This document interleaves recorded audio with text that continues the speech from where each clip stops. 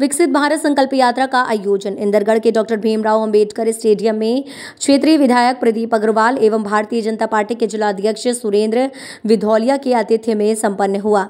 विकसित भारत संकल्प यात्रा में अनेक विभागीय स्टॉल लगाए गए थे। मुख्य अतिथियों ने उपस्थित लाभार्थियों को आत्मनिर्भर व विकसित राष्ट्र के सपने को साकार करने की शपथ दिलाई।